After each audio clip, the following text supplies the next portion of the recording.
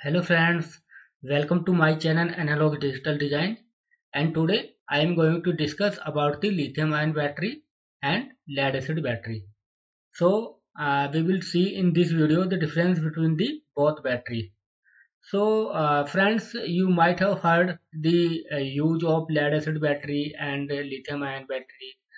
Uh, nowadays lithium ion battery uh, generally used for low power uh, application. But lead acid battery used for uh, high capacity high power uh, high wattage requirement uh, application. So now in the um, high power application uh, lithium ion battery also being used. And uh, uh, there is some difference between the lead acid and lithium technology. So as you know the lead acid technology is very old technology but lithium ion and lithium polymer uh, technology something new technology. So let's discuss about the uh, lithium ion technology and lead acid technology. So first point is capacity. So lithium ion has the more storage capacity but lead acid less. Depth of discharge. Uh, lithium ion battery can be discharged up to 85 to 90 percent. It means the 85 to 90 percent uh, wattage or power can be taken from the uh, battery to drive the load. But in lead acid battery only 50 percent power can be taken. Efficiency. Efficiency means uh, uh, the power to given to the charge of battery.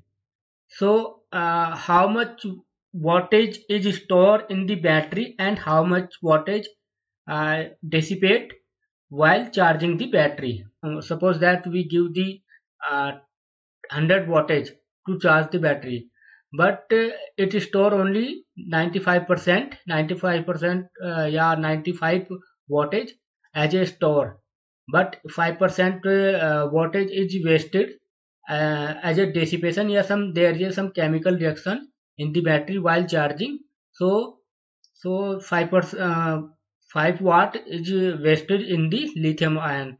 But 80 to 85 percent is efficiency. It means that if we give the 100 wattage to lead acid battery to uh, charge so it will charge only 80 to 85 wattage in its and uh, 20 to uh, 15 to 20 percent wattage may be dissipate in the um, charging.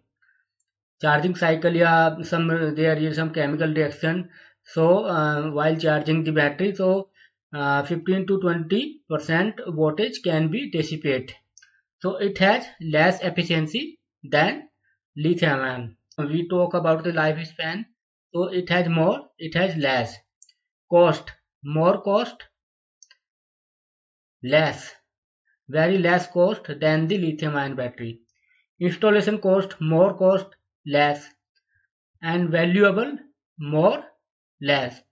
Because it has the all parameters uh, good than the lead acid battery so its value is very much. So friends these were the difference between the lithium ion battery and lead, lead acid battery. In the next video we will meet in with the another topic till then like my video subscribe and share it to your friends. Thank you